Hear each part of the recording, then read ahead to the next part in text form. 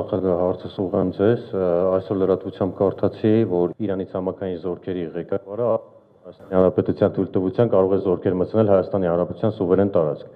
Կներեք, ձեր կարծիքն է ինձ հետաքրքիր, նման հայտարարությունը Հայաստանի ներկա իշխանությունների դեմ է ուղված, թե նո ավելի շատ Ադրբեջանի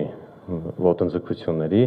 եւ եթե կարելի է մեկ հարցել, շատ ենք լսել, որ արտաքին մեծ ուժերի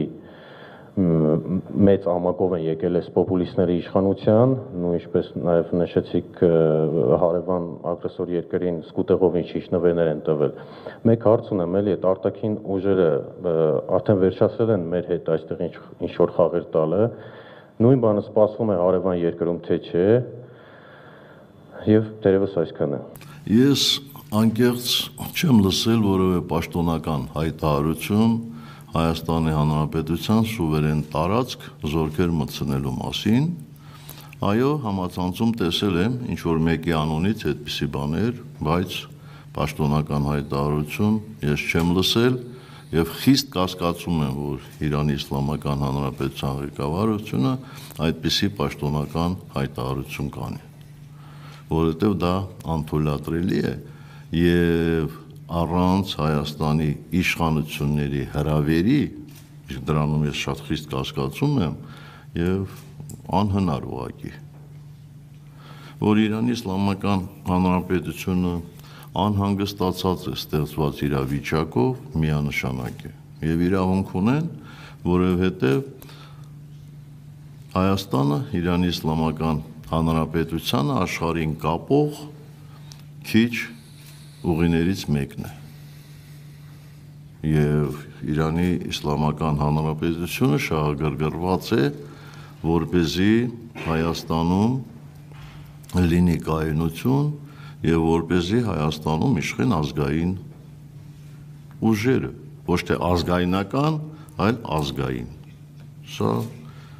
կասկած չկա սրանում էլի եւ չեմ կարծում որ բանը կհասնի զորավարժությունների ցանդին։ Զորավարժությունը անց ենք ասնում նորմալ է։ Ինչ վերաբերում արտաքին ուժերին, ապա ոչ իհարկե չեն ավարտել իրենց գործը եւ իմ կարծիքով արտաքին ուժերը, քանի որ դրանք միաբևեր չէին, հիմա այսպես ուշադիր հետևում են,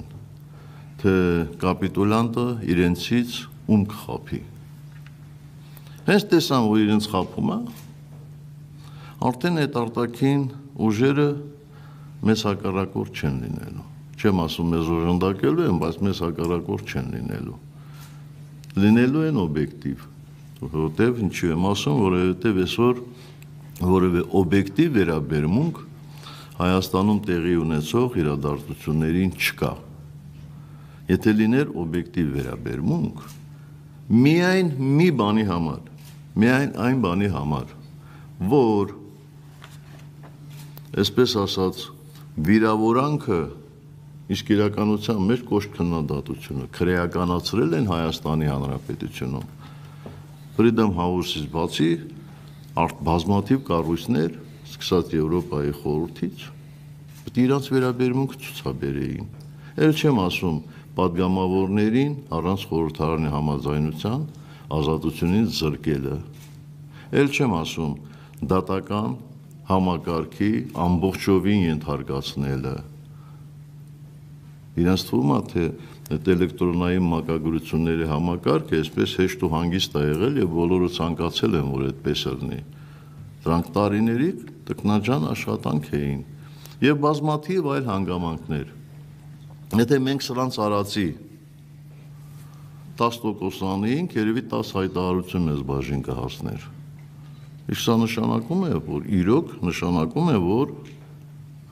դեռևս հանդուրժում են եւ սպասում են, որ իրենց ակնկալիքները կիրականանան, թե ոչ։ Բայց մենք այդքան շատ ժամանակ չունենք, էլի սպասելու։